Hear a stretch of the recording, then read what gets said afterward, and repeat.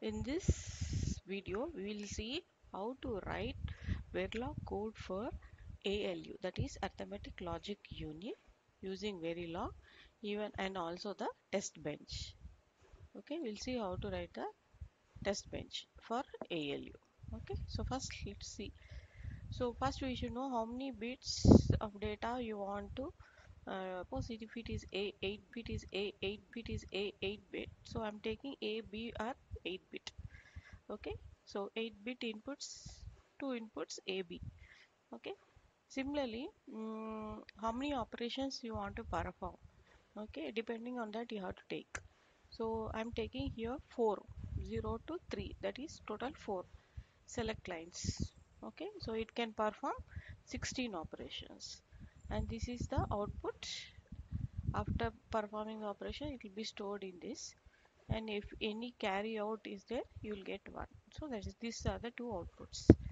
Okay? So in between temporary variables we have declared as reg then wire then uh, ALU out also we have taken temporary assign temp values. Okay?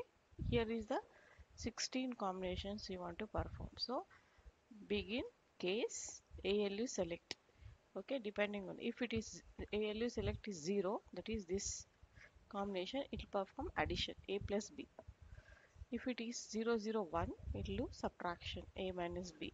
Similarly multiplication 1 0 1 1 division 1 0 1 uh, logical shift left then logical shift right 1 0 1 6 is rotate left then rotate right then logically ANDing operation 100 a and b. Uh, 101 is for a or b xor xnor logical NANDing then logical xnor okay? So greater comparison also you can take. That is 110 is comparing the whether a is greater than b. Then last combination is equal whether both the numbers are equal or not. Okay? Default ALU result is a plus b.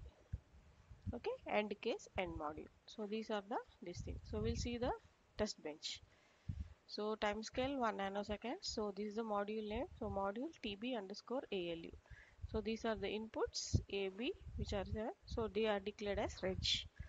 Outputs as wire both outputs. Now we have this is the mo module because we are taken here here. So integer i this is the uh, module name instantiation of this module then here you see from here we'll start initial begin I gave A, A and B. So A is 8 bits which is of 0 hexadecimal H0A. Okay, that means A is 10. Similarly 10 in decimal. B is equals to 4 hexadecimal it is 2. We gave only 4 bit. Then ALU select first initially 4 bits which is 0 hexadecimal 0. So far because ALU we have to give mm, all the 16 combination this we are taken in a loop. This directly we have given this in a loop. So for i is equals to 0 i less than 15 i plus plus begin. Alu select is equal to alu select plus 1 we are adding 1 to the select line. So initially it is 0 then it will become 1 then uh, that is 0 plus 1 is 1 after up to 10 nanoseconds. So after 10 nanoseconds again um, ALU select will become 2 3 4 after so every 10 seconds one per uh, one uh, one uh, operation will be performed out of the 16 for this number. End. Okay? Then again one more combination we are taken. A f is equal to 16 b is equal to 0 8 and so again it will perform the same operation using these values. Okay?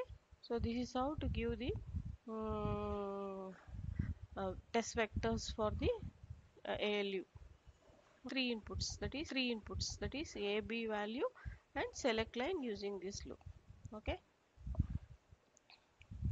Depending on your uh, number of bits of ALU you can change accordingly this 8 bit 16 bit or so this is the model for ALU test match. Thank you. Please like share and subscribe to my channel. Thank you for watching